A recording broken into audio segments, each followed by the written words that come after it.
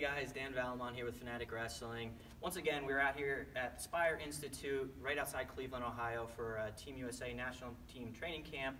And uh, we've been going over a ton of freestyle techniques, specifically in the parterre position this week, learning from uh, some of the greats like Kevin Jackson, Joe Russell, Bill Zadick, um, Bruce Baumgartner, some, some really um, knowledgeable clinicians, and just going over a, a, ton of defense from the parterre position, but also a bunch of offense. And um, right now, with Tony Tolbert, one of my teammates at the Pennsylvania Regional Training Center back in Philadelphia, and uh, he's just going to go over one of his favorite turns from this parterre position, and one that we've been kind of working on throughout this week as well. So, Tony. All right, guys. So um, I learned this at the PRTC a couple years ago. Um, so this turn is a trapped arm gut with a figure four to his opposite or to his right leg with a trapped arm to his left arm.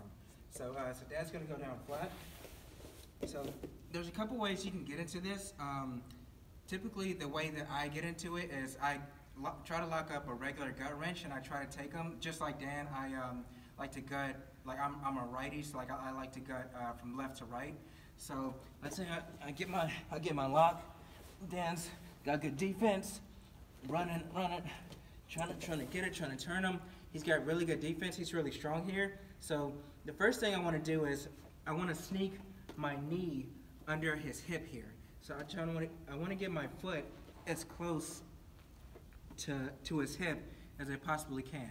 Because that really makes it tighter, and if, if it's down here, it's going to be really loose. So I want to get it as high as I possibly can. Next thing, I want to take my knee right up the butt here, I'm trying to get him forward. Then I want to hook my I want to hook my foot right in the crook of my knee here, right in the bend of my knee here. And then want to arch up. You don't want to be here because this is really loose. So he can crawl forward and get his leg out. So you have the foot. So you want to come here and you want to arch. So um, Coach Slay calls this the skydive position, right? So you want to arch your back. That puts a lot of pressure on his lower back and his hip here.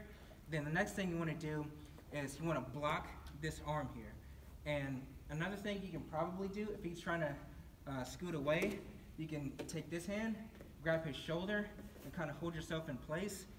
Next thing you want to do is you want to hop on, on your back foot here, block his arm. You want to hop, hop, hop, hop, and that way you kind of get his arm trapped under. Next thing, you want to lock, get your, uh, get your trapped arm, and then you want to tilt to this side, get your two points, and then you want to release your figure four, and then you want to come to the opposite side and take them all the way through on that side. So the reason why you want to only tilt on the trapped arm side is because with his other hand, he can kind of post and scramble out of there. So uh, uh, face this way. So again, got my regular gut wrench. I'm trying to take him over. He's really strong. I sneak my leg under him here. Then this knee is going up the butt. My foot is right in the bend of my knee here. I, I curl my back leg. Then I want to arch my back, skydive position. Then I'm going to block his opposite arm. Then I'm going to get on, on this toe and I want to hop. So hop, hop, hop. Get that arm trapped. Then I'm going to lock up my trapped arm gut, tilt him this way, then release my figure four, run, run, run, then pop them all the way through to the other side. And do you want to show them one time what will happen if you try to go through that side with uh, right. where I can post? Okay. So, that wrench. What? So, so right here, if Tony tries to roll through, and this can work, and if you do, you have to really explode and drive through your legs. But if you kind of go through slowly here, what Tony's saying is I can post this hand and possibly wrestle from here, because I still have this support. When Tony takes me the other way, I don't have any support there. I don't have anything to defend myself. So it's tempting to go to that side because that's where your momentum's taking you at the beginning.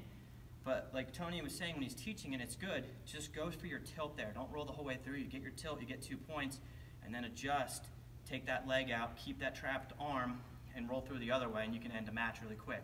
But you have to be careful going to that same side where I still have my, my arm out and to defend.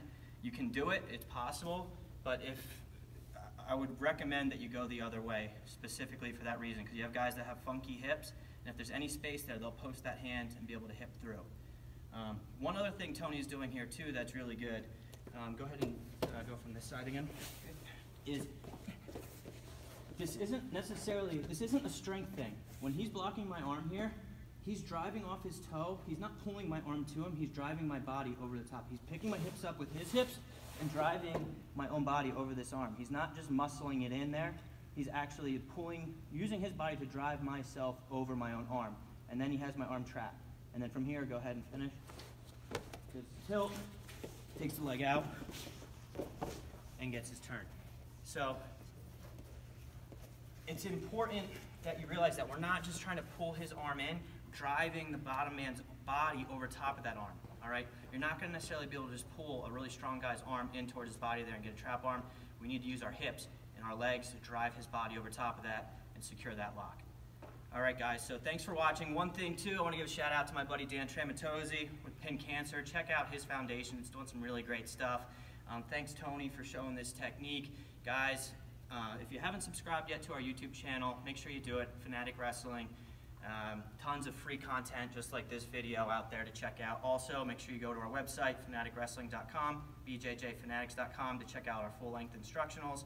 Um, if you haven't done so already, uh, make sure you join our Facebook group, like our Facebook page, follow us on Instagram and Twitter. Thanks for watching. Talk to you guys soon.